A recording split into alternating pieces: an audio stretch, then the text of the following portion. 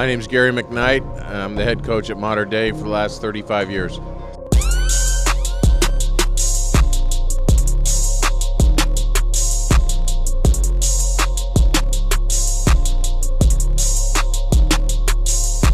Well, my son Clay McKnight probably is top of the list. Um, Stanley Johnson's not bad though either. So uh, we've been very fortunate. I've had 22 uh, CIF Player of the Years, and uh, to say one's better than the other, it's hard, you know. But Stanley ranks right up there.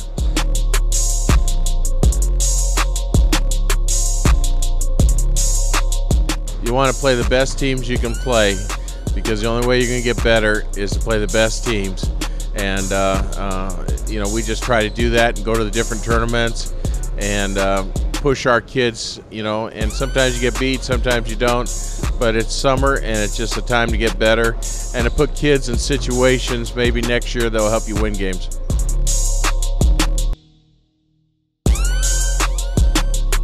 Spencer Freedman, our point guards, are returning, and he's uh, extremely talented player, shooter, passer, uh, leader.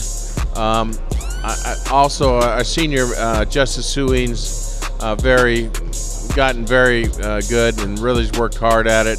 Our center, um, uh, Miles Brookins, about 6'9", he's getting recruited pretty heavily, as is Mike Wong, and uh, uh, about 6'9". And so it, we have a good group of kids. Nothing better than high school basketball.